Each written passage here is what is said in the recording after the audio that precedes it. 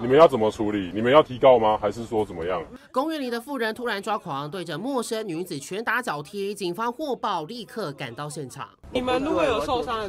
部分我建议你们还是没有了，以防说之后你们突然要没有没有没有，怎么突然情绪大失控？原来动手的妇人只因看不惯女生穿迷你裙就出手攻击，被打的女子吓到快哭出来。她自己看起来就有点奇怪的人，不知道是什么事。后来那个女生又跑到那边，也是一样同样的台词，也是这样子讲啊。被害女子还原过程说，二十一号早上十点多跟朋友来荣兴花园，打算散步运动，经过一名妇人身边，却无缘无故遭到大吼小叫。当时遭殴的女子呢，就是穿着像这样的短裙在公园，没想到呢就被一名陌生女子随机攻击，甚至大骂她不检点，让她实在快要吓坏。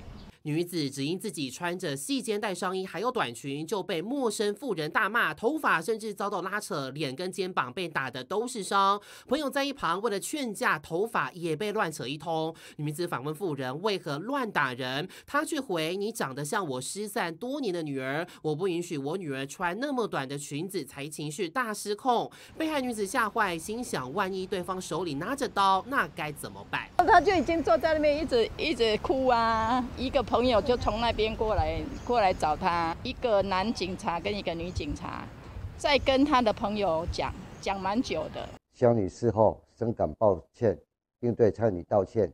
蔡女表示验伤后。会自行自所提出告诉。动手的妇人有表达歉意，但不管怎样，动手就是不对。现在被打的女子决定提告，毕竟好好的在公园散步，却因为穿着被随机攻击，全身都是伤，心中恐怕已经留下阴影。明新闻马先生刘玉琪台北采访报道。